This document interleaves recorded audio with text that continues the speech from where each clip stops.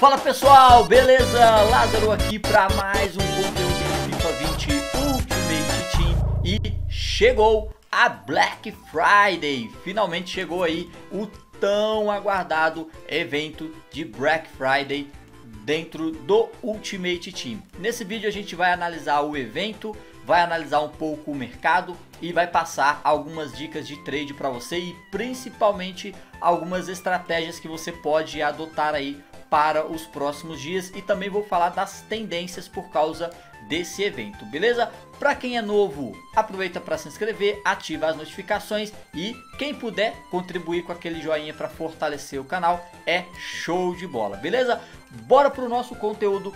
Vou pegar o nosso joystick, quero mostrar aqui o que ela mandou até o presente momento, tá? Então nós temos é, alguns jogadores numa super seleção da semana, igual você viu ali. Cara, só tem nego pica, velho. Muito, muito bons mesmo. Ela mandou os melhores dos melhores, tá? Então assim, a galera desembolou abre packs para tentar tirar o Messi, um CR7, o Mbappé, o Hazard, enfim, Mané, enfim. Vamos ver o que que isso vai virar dentro do mercado, tá? É, ela só mandou, a princípio ela só mandou essa sele super seleção da semana e os packs. A galera esperava aqueles DMEs de uma hora, não veio nenhum até as 15 horas, não veio nenhum DME desse, tá? Às 15 horas, galera, ela mandou o DME de Moments do Morales, tá? É um, um DME novo, é, não sei se vai ser de uma em uma hora esse DME, ou se... Deixa eu ver aqui quanto tempo que vai ficar.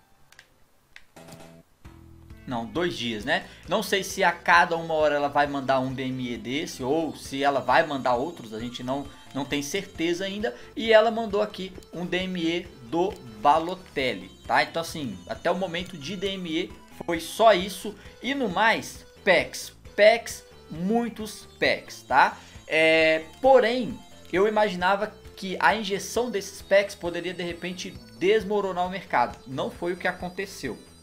É, cartas ouro não raro. Uh, tipo, eu consegui vender muitas por 800 coins, então assim, comprei a 450, 500 coins, consegui vender muitas por 500 coins, parei de vender para poder dar uma segurada e ver se elas vão dar uma valorizada maior, tá?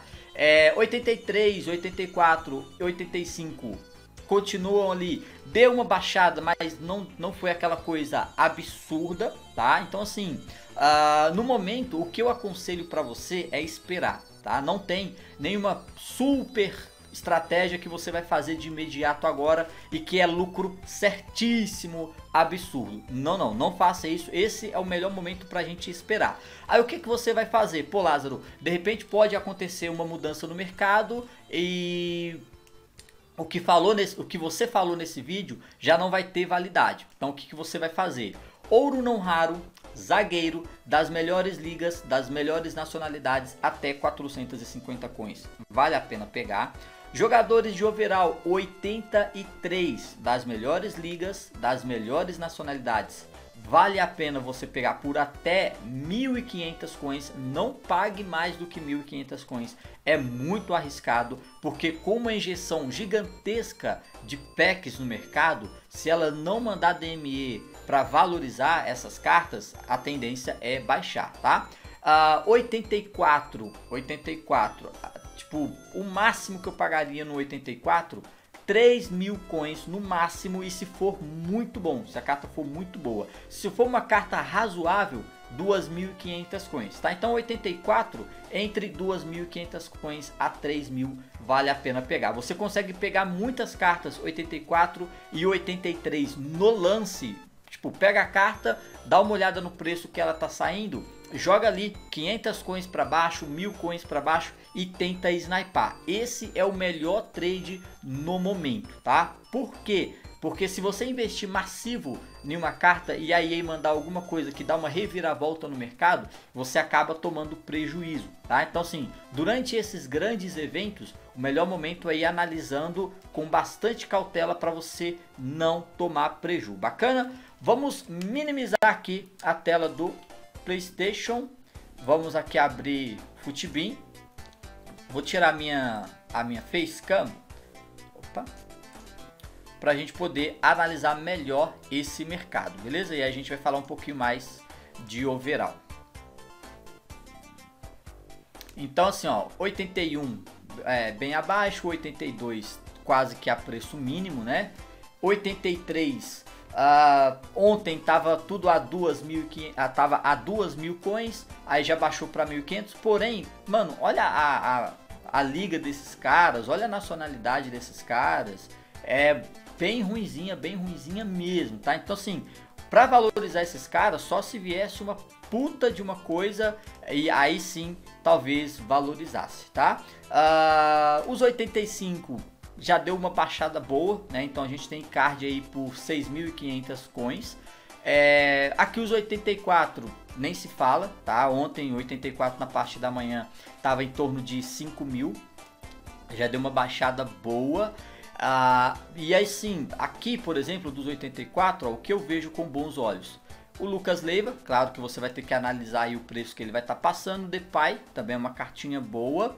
Uh, dos 83 aqui, o Iglesias, porém é um atacante, não sei se vale tanto a pena assim, tá?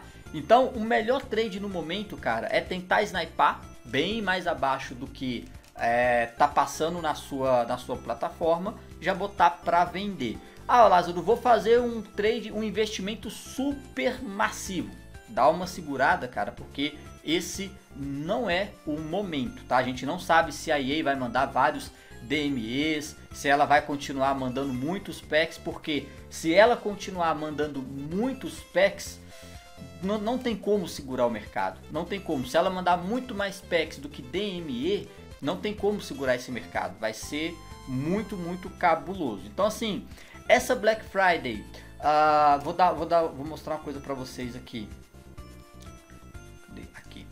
meio que aconteceu aquilo que já estava previsto, tá? É, o time que eu tô querendo montar é esse daqui. Já passei por esse, já passei por esse. Esse time aqui, cara, é, eu montei ele por 500 mil. Quando começou a se falar de Black Friday, esse time baixou, olha só. Tinha baixado para 150, agora já baixou para 78.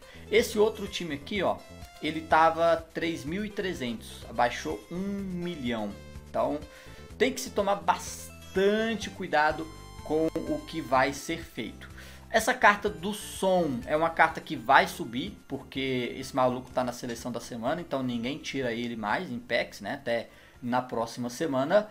Uh, se eu for montar esse time, que é o que eu estou pretendendo nessa Black Friday, eu vou é, tirar essa carta do som. Vou colocar aqui o Agüero, só para quebrar um galho. Só para quebrar um galho. Vou dar um save aqui. Só para me poder mostrar para vocês. Então assim, vamos dar uma olhada. Opa!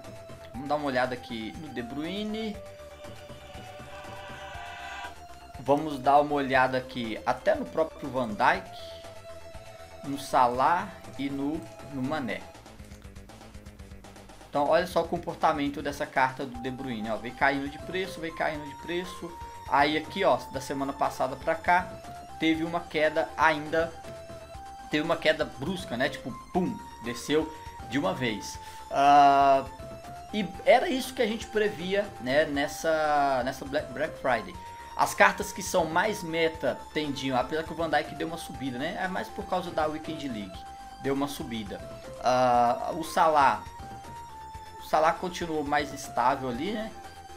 chegou aqui, caiu, mas não foi aquela, aquele gráfico agudo para baixo. E o Mané, vamos ver como que o Mané se comportar, que o Mané teve uma queda brusca, né? O Mané caiu de 375 para 313. Aí depois deu uma recuperada, mas a gente sabe que é por causa da WL. Então assim, é o que a gente esperava, né? A, tipo, a galera vai com aquele panic sell de que, pô, vai cair, vai cair, vai cair. Vou colocar nossa facecam aqui de novo vai cair, vai cair, vai cair, e aí começa a cair, começa a cair. Durante a, a, a, Black Friday, essas cartas dão uma subidinha. Não sabemos como que vai se comportar na próxima semana. Pode ser que de repente na segunda, porra, acabou é, Foot Champions, acabou Foot Champions. Vai ter o, acho que é Cyber Money, é Cyber Monday, Super Monday, um negócio assim, ou Sunday, né? uh, que é um evento de domingo. Né? Antes no FIFA era segunda, agora a EA passou para domingo. Então a gente não sabe exatamente como que o mercado vai se comportar. Eu acredito que vai cair mais um pouquinho, tá? Principalmente essas cartas meta vai cair mais um pouquinho.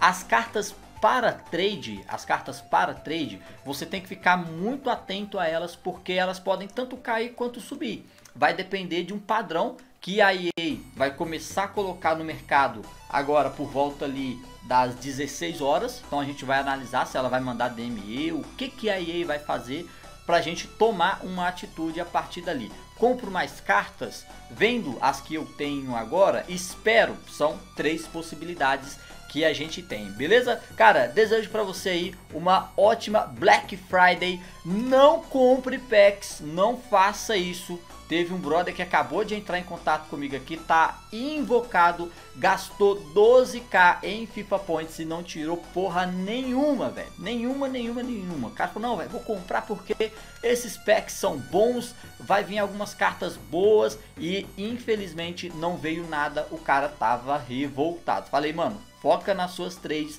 que é o melhor que você faz, beleza? Galera, vou ficando por aqui, vejo vocês no próximo conteúdo, um forte abraço, tchau, fui!